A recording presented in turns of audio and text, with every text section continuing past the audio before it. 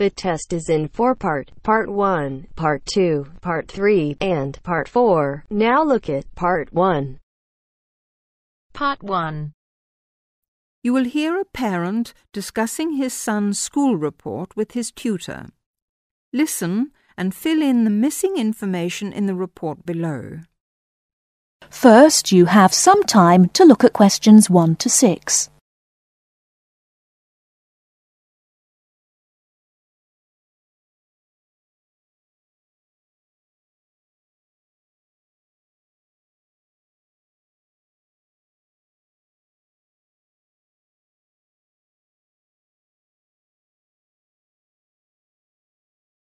Now we shall begin.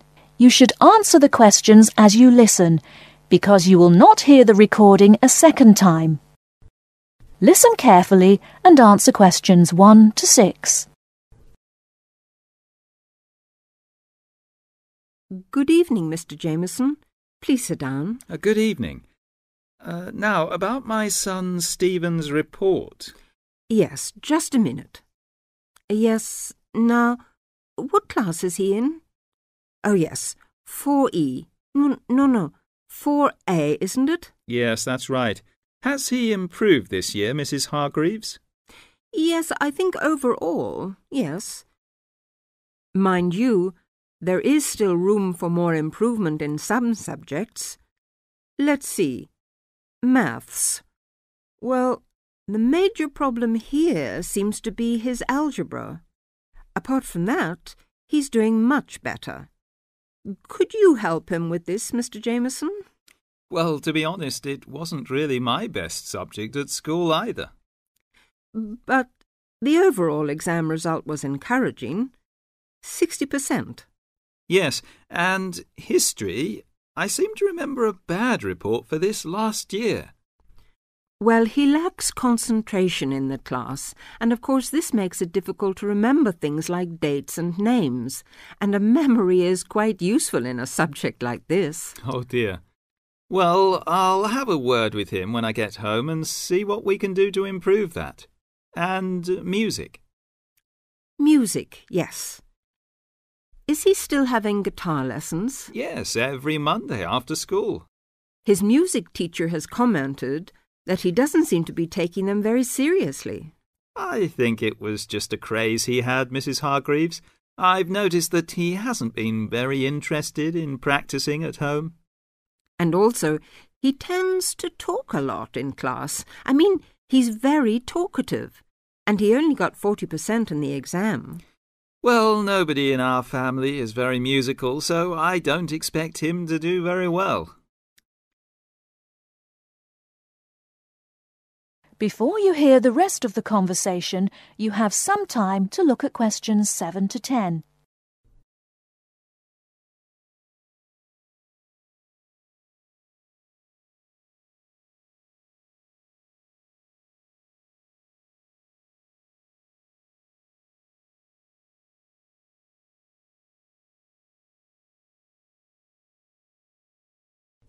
Now listen and answer questions 7 to 10. Looking at his geography result, though, there has been considerable improvement 64%. Yes, I remember him working at home a lot for some sort of project or something on. Uh, now, where was it? India, I think. No, uh, on China. Yes, yes. And it was an excellent piece of work. I saw it myself and was very impressed. And his art classes have also been going better this year. Yes, he became very interested in pop art after the school and went to the local art gallery to see the pictures there. His bedroom wall is covered with posters from the shop. Yes, and 58% is not bad for his exam result, considering how low it was last year. And now French. It seems that he has really taken to speaking a foreign language. We hoped he would, because it's important to know another language these days, isn't it? Yes, quite. That's why we paid for him to go to France last Easter, so he could practice more. Well, it seems to have done the trick. 80% is a very good mark. Now, Mrs. Hargreaves, I'd just like to ask you one more thing about.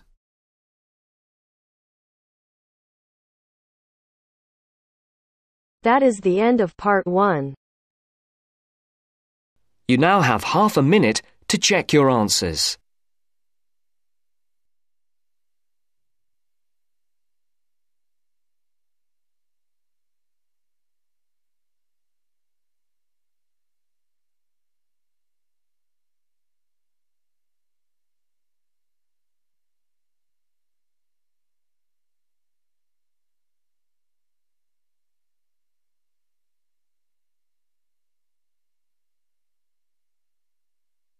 Now turns to part two. Part 2. You will hear someone giving instructions to staff at a festival. First, look at questions 11 to 13.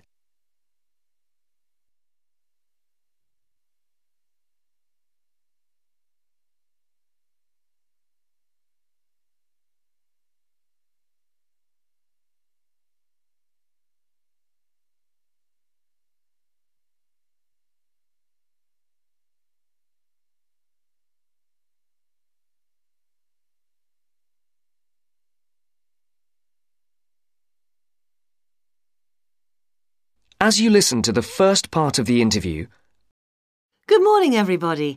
I'd like to welcome you to the Castle Pop Festival. My name is Sandy, and I'm the General Manager of Castle Pop Entertainments. And I just want to take a few moments to mention a few things to you before you go and have your detailed briefings in your work groups. Uh, you all have a copy of the plan of the festival grounds. Now, most things are obvious, but I'd like to point out first the visitor toilets here along the side of the main area. Kindly do not use these yourselves. Your own facilities, the staff toilets, are beside the breakfast tent. Also, there are public telephones behind the stage. I mention these two things because they are places that visitors often ask for.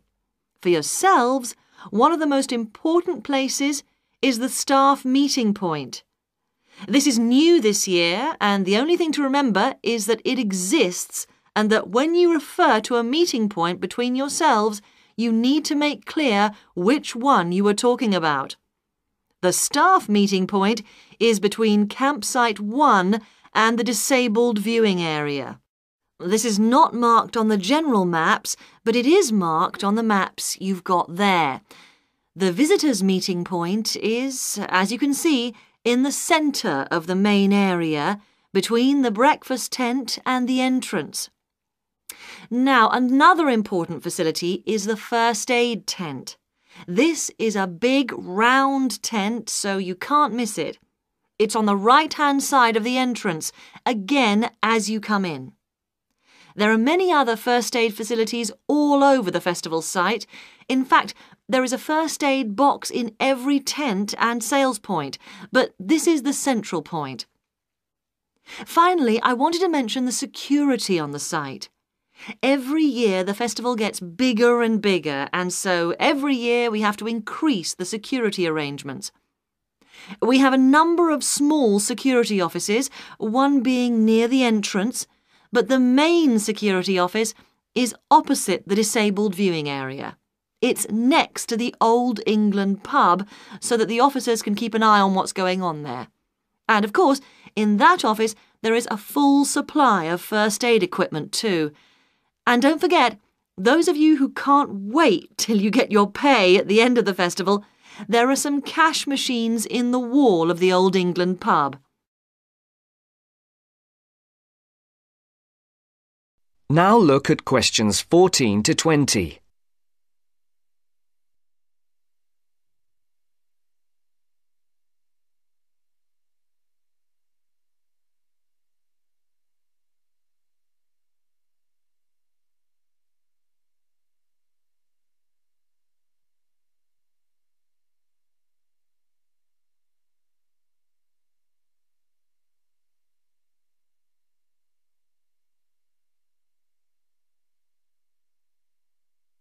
As the interview continues, complete the sentences.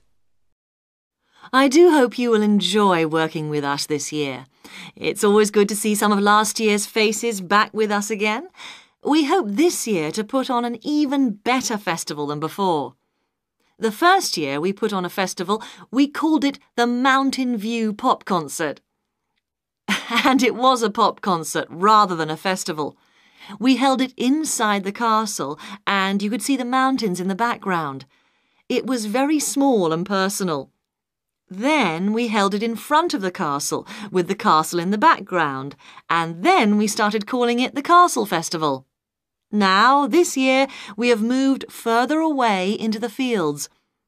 The advantage is that the castle and the mountains are both there in the distance, but we have as much space as we want in the fields. The only problem with the fields is that sheep use the fields during the spring months and they leave little messages for us all over the place. So please be careful and encourage the visitors to be careful too. Now, it just remains for me to let you know the times of your detailed briefings, which are as follows, and I'm telling you these as they are not, I repeat, not as written down on your welcome letters. Those of you who are working on the children's zone, your meeting is at 2 p.m. in campsite 2. Those of you on the security team need to meet behind the stage at 3:15 p.m. For the people on first aid, please do not meet in the first aid tent. There will not be enough room, but meet at the entrance gates at 4 p.m. Finally, we need everybody, and I do mean everybody, on duty on Monday morning at 8 a.m. for the final clean-up. I'd like to remind you that Monday is the final day of work, not the Sunday. People not coming to the final day will lose 50% of their pay. The meeting place for that is Campsite 1. Now, good luck and let's make this the best festival ever!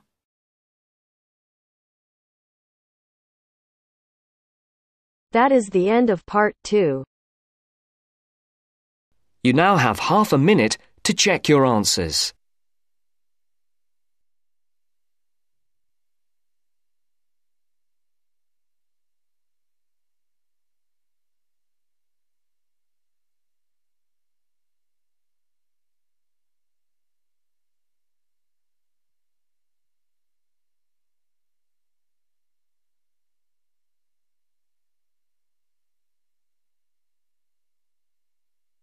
Now turns to part three. Part 3. Look at this advertisement for a job. Listen to Philip and Anne talking about the job and fill in the missing words. First, you have some time to look at questions 21 to 26.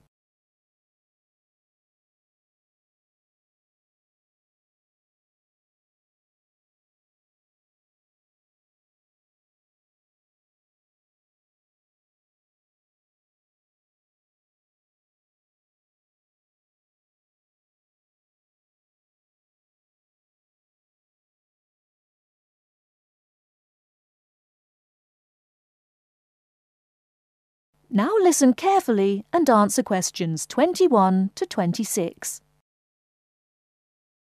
Look, here's one that might interest you. What is it? Are you sure? The last one you sent me off to was a disaster. Yes, look. It says they want a junior sales manager, and it looks like it's a big international company. That'd be good. You might get to travel. What kind of company is it, though? Let's see. Yes, it's a textile company that seems to import from abroad. That's odd, isn't it? What else? They say the salary is really good. They operate a system of paying you a basic salary and then offering sales commission on top of that. They say it's high. And, oh, look, they give you a car to travel round in. Gosh, that's not bad, is it? Uh, uh, do they say anything about experience? Mm, let's see. No, they want someone young with ambition and enthusiasm. Oh, yes, they want graduates, so that's okay. You've been to university. Now, what else? Let's see. There must be some catch. No, The only thing is you have to travel, but then that's what the company car's for. Oh, and you have to be able to get on well with other people, because it says you have to be good in a team. Um, perhaps I'll have a closer look at that one. Before you hear the rest of the talk, you have some time to look at questions 27 to 30.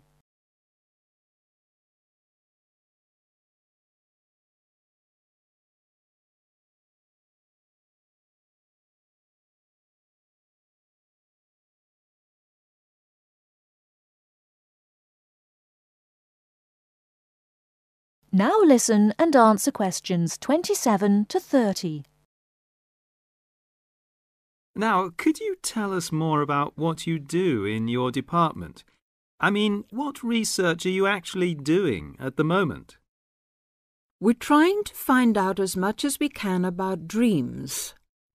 There's one area that we're particularly interested in at the moment, and that is what we call directed dreaming. Directed dreaming. What is that exactly? Let me explain.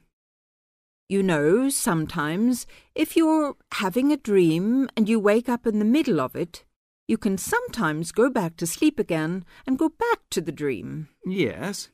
Well, that is similar to what we call directed dreaming. Now, what I was talking about is a fairly common experience, but real directed dreamers are people who have always complete control over what they dream because they actually know what they're dreaming. Uh, they can dream what they want? Yes, nearly. Can anyone develop this ability? Well, that's one of the things that we would like to find out. At our centre, we have in fact got three people who are very reliable and who can have these directed dreams quite regularly. And what sort of experiments do you do with them? Well, a few weeks ago, we thought it would be interesting to see if there was any way that these three regular dreamers could communicate with each other in a directed dream while they were sleeping. So one night, we arranged for them all to stay at the centre. Then we asked the three of them, uh, there were two men and a woman, we asked them all to go to a pub that they all knew quite well, down by the river, and asked them if they started dreaming to go down there and try to find each other. In the dream? Or three dreams? Yes. So they all went off to sleep, and the next morning we interviewed them all separately and asked them what they had seen. The two men had had dreams and could remember them, and they both said that they had been to the pub and had seen each other and had had a talk. But also, both of them said that they hadn't seen the woman, and we thought that was a bit, mm, a bit odd. And then we talked to her, and she told us that she hadn't had a dream at all that night. Or she couldn't remember it anyway. Fascinating. So both of the men said she hadn't appeared in their dreams, and that was because she hadn't in fact been dreaming. Yes, though of course it could just be a coincidence. But that's the kind of thing that we're trying to find out more about.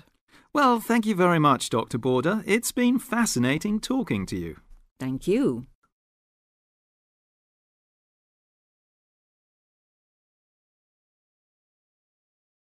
That is the end of part three.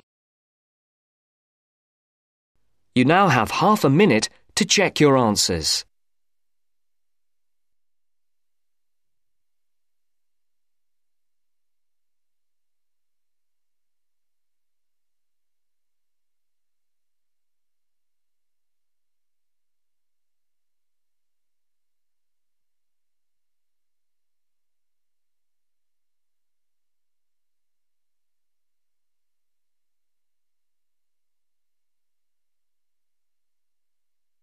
Now turns to part 4.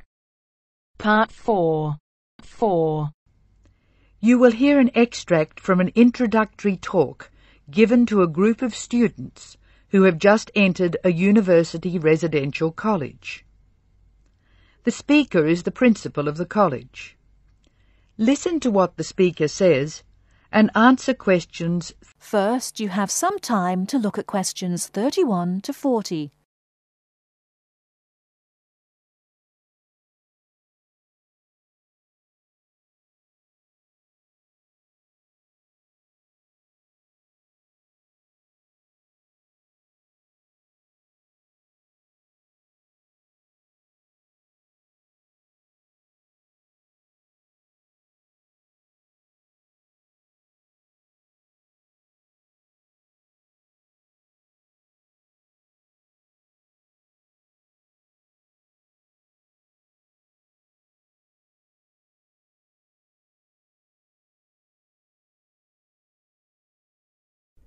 Now, listen carefully and answer questions 31 to 40. Good morning and welcome to Scholastic House. I'm delighted to see you here. It is my duty to explain to you some of the history of our college and some of the traditions which I hope you will uphold. The idea for Scholastic House was expounded by Samuel Wells in 1898. Wells was a visionary whose ideas were well ahead of his time. He wanted a college which would encourage friendship between people of different races and nationalities. Wells died in 1900 before he could see the college in action. Scholastic House finally began operating in 1903 with 10 students. Those students came from Asia, Europe, and the Americas. At that time, Scholastic House accepted only male students, although it has been co-educational since 1963. Nine of these foundation students went on to lead illustrious lives. The only exception died tragically on his way home from Scholastic House to Sarawak. He had only recently graduated with an honours degree in law, and he was robbed of a brilliant future. The other nine students, as I said, led very fulfilling lives. Three became political leaders, three became doctors. Perhaps the most famous graduate became a university teacher and was responsible for the introduction of modern teaching training methods in his country. Two of the original group became senior engineers and went on to deeply influence the way the water systems of their country were exploited. The college ran into hard times during the period of the Great War, 1914 to 1918, when the charter of the college was interpreted to mean that neither students nor staff could take part in the war effort. Many people felt that this indicated a lack of national spirit, and the walls of the college were frequently marked with graffiti. Meantime, outside the college, tens of thousands of young men went away to fight in Europe, never to return. The college was building a reputation for learning and for tolerance of opposing views. Scholastic House debate and discussion nights were open to the public in 1927 and have been available to anyone who wishes to attend ever since. It is a proud tradition of the college that any view may be expressed, provided that it can be defended intellectually. Over the years, topics which were controversial at the time have been discussed and debated. Why should we do this? The publicity we receive is often sensational, and there is no joy in encouraging argument for its own sake. In fact, that sort of discussion just increases tension. The only legitimate reason for our behaviour is that it casts light upon the topic in question and informs the debate.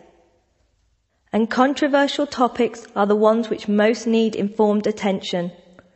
As the world forges ahead, we often find our scientists have outstripped our philosophers. We frequently develop scientific marvels without realizing their full implications. Nowhere is this more obvious than in medicine. We are now able to keep people alive far longer than before. But this medical ability must be measured in relation to the quality of those lives. I urge you to spend your time at Scholastic House wisely. You are the heirs of an excellent academic tradition of which we can all be justly proud. It is your responsibility to continue this tradition of querying where our world is going. Progress is not always upwards. I wish you every joy in your time here and I hope that I will hear much well informed debate from you.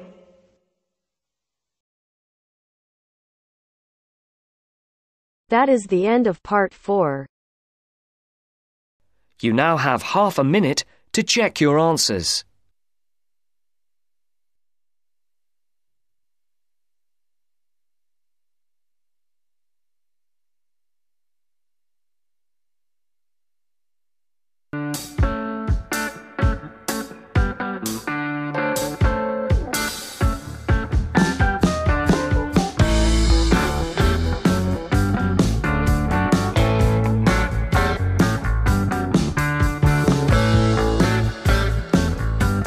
That is the end of the test.